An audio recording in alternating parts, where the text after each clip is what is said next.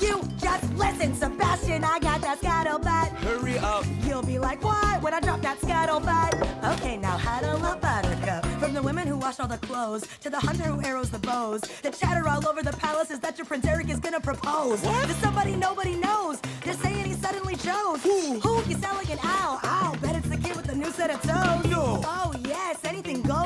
Guess? Our little Ariel's marriage material. Time for the rice and the dress and the what do you call it? The thing with the lips when they press. I don't have lips. I have a beak, so I guess I could give you a peck on the cheek. I don't believe it. Say, you're awfully quiet. Oh, yeah. So, uh, what now? Let's go, let's go, let's go! Can you believe that scuttlebutt? Get dressed, child. You're welcome for the scuttlebutt. We got a lot of work to do before Sister, sister, sister, scuttlebutt, scuttlebutt. Hey! Oh, please let this be the day. Let's go, let's go, let's go! got it. The gossip, the buzz, the who said what, who does that. Yeah, I told you so. Let's go, let's go, let's go. We gotta go before the sun go down.